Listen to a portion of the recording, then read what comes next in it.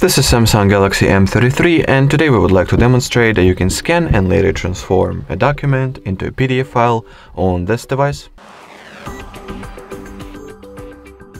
So in my case I'm going to use the uh, free app that is Google Drive, the official application by Google. That is the most convenient uh, and quick way to do what well, what we are trying to achieve here, at least from what I know of. So if you do not have it pre-installed as I do, just get it for free from the Play Store.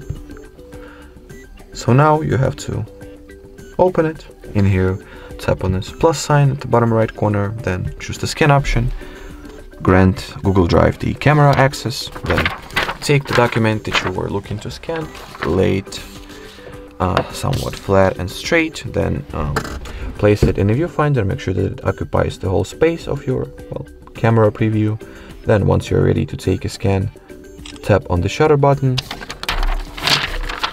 Alrighty, so here it is. Uh, now look at the result. Uh, decide for yourself whether you're satisfied with it. If not, just retry. If you're ready to proceed, tap on the OK button.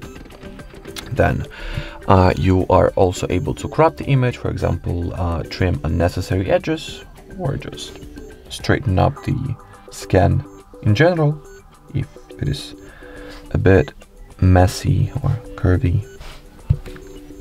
And once you're ready to save it, uh, well, tap on the respective save option over here, rename if necessary, change the folder it will be saved to if necessary as well, and then save.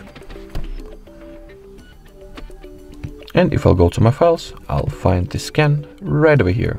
Not only it has been, it has been decently scanned, but also, as you can see, successfully transformed into a PDF document.